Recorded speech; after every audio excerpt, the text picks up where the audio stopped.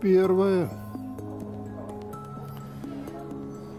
Когда мне было 6 лет, в книге под названием «Правдивые истории», где рассказывалось про девственные леса, я увидел однажды удивительную картинку. На картине огромная змея, удав, глотала хищного зверя. Вот как это было нарисовано. Книге говорилось, удав заглатывает свою жертву целиком, не жуя.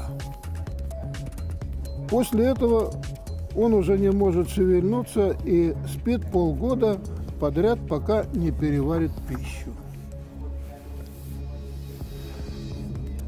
Я много раздумывал о полной приключении жизни джунглей и тоже нарисовал цветным карандашом свою первую картинку. Это был мой рисунок номер один. Вот что я нарисовал. Я показал мое творение нормально взрослым и спросил, не страшно ли им? «Разве шляпа страшная?» – возразили мне.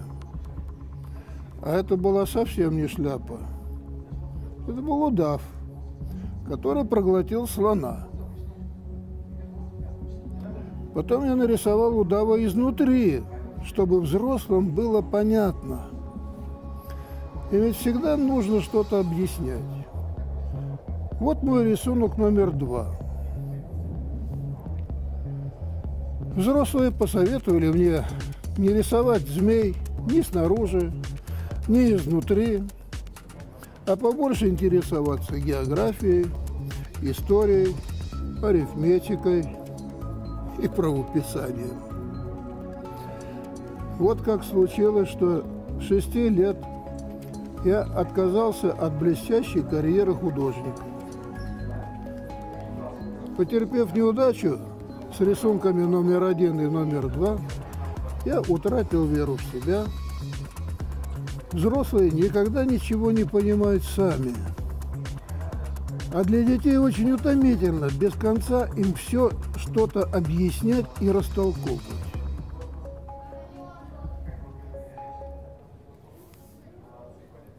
Да.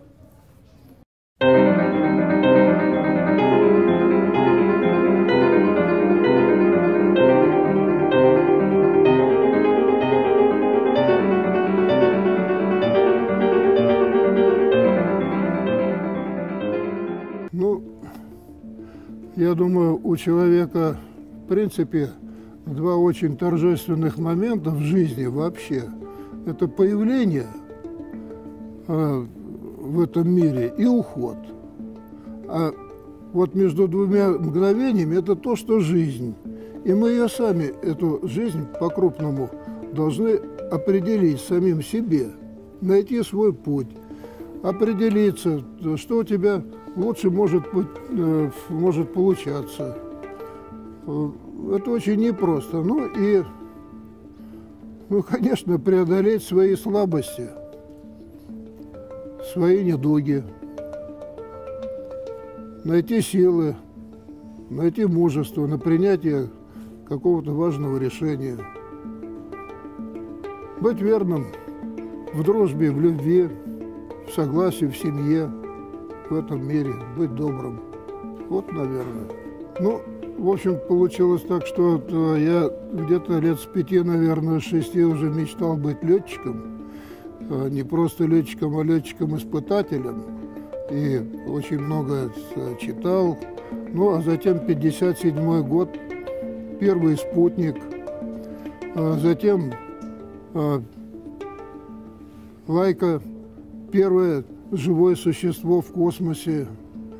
А, ну и дальше естественный вопрос. Человек наверняка скоро полетит.